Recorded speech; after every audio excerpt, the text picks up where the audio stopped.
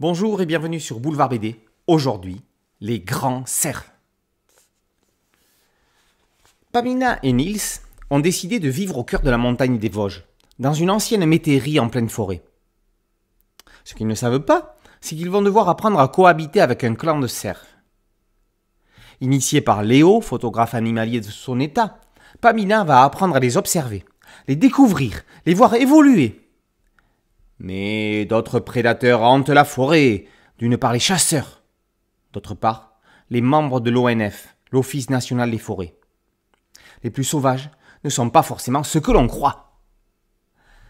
Gaëtan Nock adapte le roman éponyme de Claudie Hunzinger.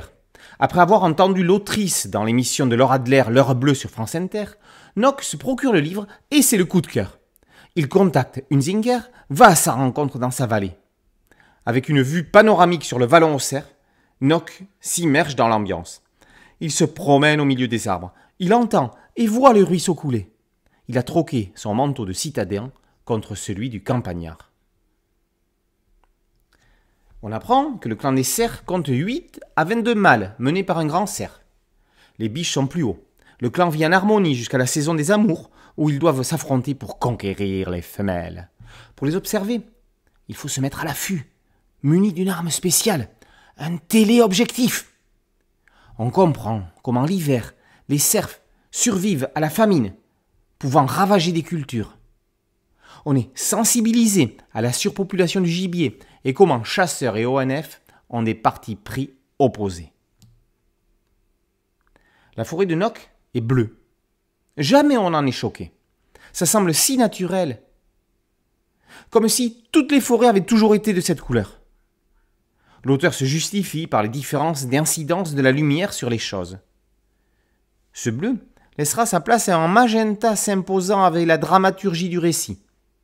Les nuits, quant à elles, sont sensationnelles. La scène du comptage nocturne des animaux est incroyablement réalisée. Quand Claudine Zinger s'est entretenue avec Laura Adler, elle lui a dit être venue avec les arbres de sa forêt, les cerfs, les salamandres, les papillons. Elle a dit être venue avec eux pour éviter qu'ils ne disparaissent avec ce monde qui change à grande vitesse.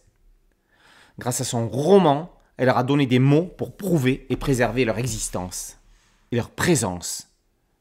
Grâce à son album, Gaëtan Nock leur donne des images sublimes. Les Grands Cerfs, par Gaëtan Nock, d'après le roman de Claudine Zinger, et paru aux éditions Daniel Maguen. Boulevard BD, c'est un podcast audio et une chaîne YouTube. Merci de liker, de partager et de vous abonner. A très bientôt sur Boulevard BD. Ciao